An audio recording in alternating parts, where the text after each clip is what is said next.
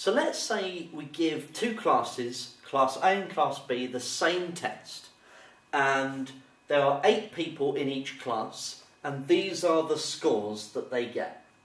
We need to work out the mean and the range, and what we want to do is compare the two classes to see how well they've done.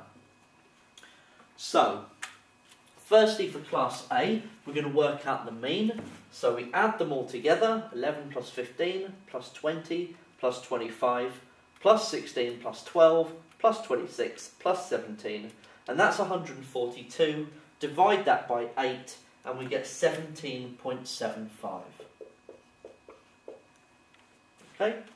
Then the range is the largest, which is 26, take away the smallest, which is 11, so 26 take away 11 is 15.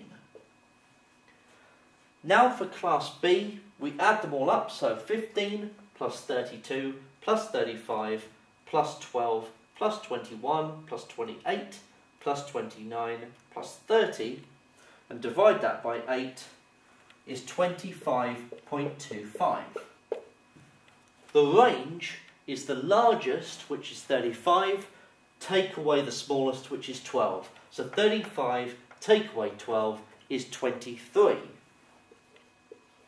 Okay, so now that we have the mean and the range for both, both sets of data, and if we're then asked to make two comparisons, we need to make a comparison based on the two means and the two ranges.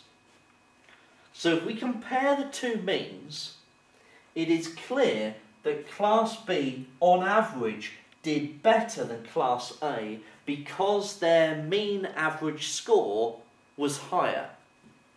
I mean, the average score is 25.25 compared with 17.75. So Class B clearly did better.